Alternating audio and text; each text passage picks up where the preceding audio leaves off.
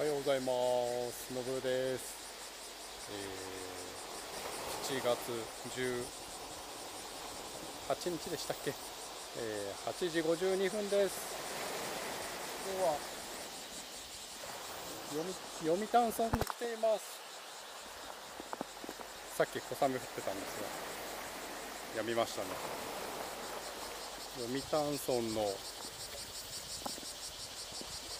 とあるビーチです。ビーチというか海ですね。海岸です。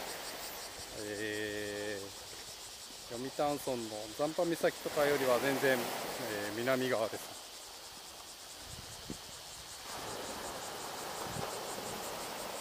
フィッシャーマンズワーフとかっていうレストランがある、そのちょっと北側にある、本当何もない海岸です。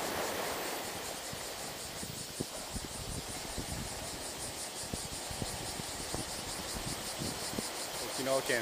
天気今いいんですけど熱帯低気圧が南の方でできたらしくて週末台風になって来そうだということで結構昨日から突然雨が降ったりして不安定ではあります。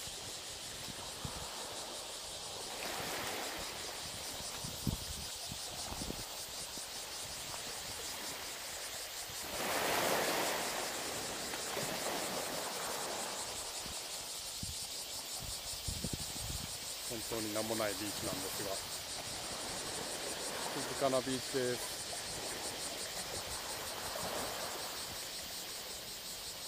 ちょっと台風近づいてるので波も高いのかな。分かりませんがちょっとジャパジャパしてる気がしますがそこまでまだはな影響はないと思います、まあ、週末ちょっと天気悪そうなんで。